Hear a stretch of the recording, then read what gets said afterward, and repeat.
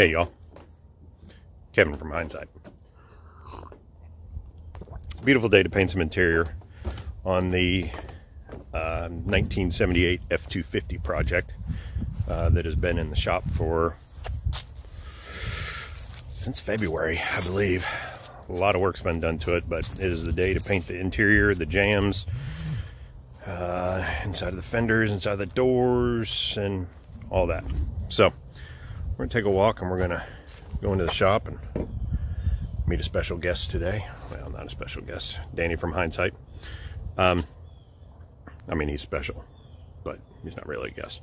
Hey, I'm Woody from Hyndzyte Engineering. Uh, out here at Kevin's shop, where uh, Kevin's been working on a 78 uh, F250 for several months now. Uh, we're to paint the inside of the cab, inside the doors, inside the hood, inside the fenders. Going to get some uh, color on it uh, so he can hang all the parts and everything. We got some chrome trim that's going down the side, so he wants everything hung on the vehicle uh, and ready to go. We're going to do a little video and show you kind of what we do, and uh, Mark's going to do some video and kind of follow us around. So uh, hang tight, it's going to be fun.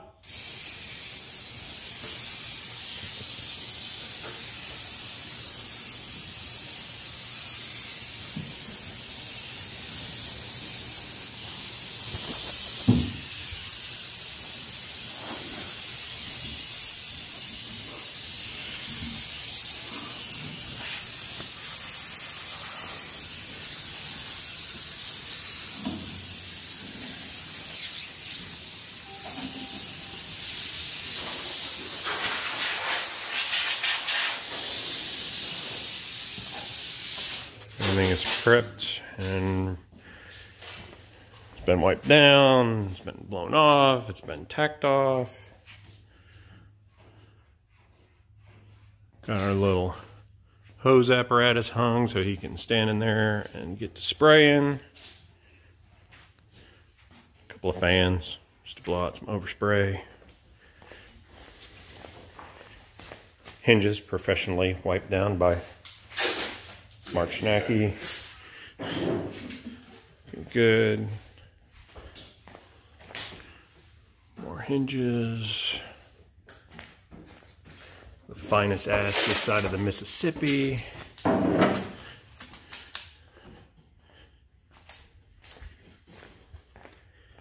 And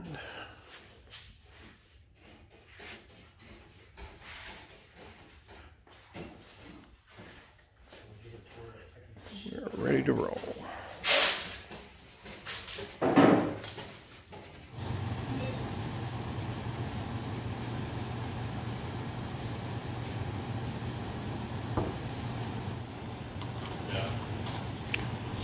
Making a mess on Kevin's. So you notice I made two of these. Yeah. We're definitely going to go through one and a half because I'm sealing like the whole hood, the whole inside of the fender, the whole inside of the doors, and I'm going to probably seal as much of the inside of that cab as I can.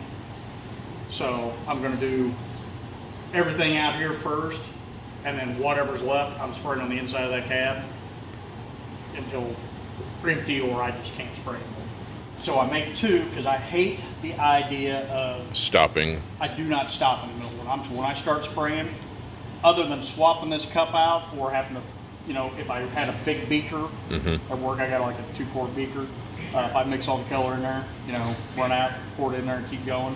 Uh, as far as spraying, like get halfway through that door and run out of color or Yeah. whatever, and then have to go do.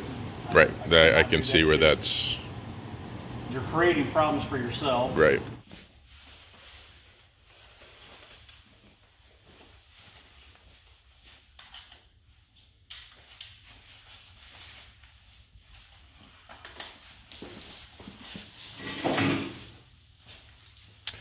And you're doing the spray outs first, or just when you get to I'm gonna that? put sealer on them and probably move them over Okay. here for now.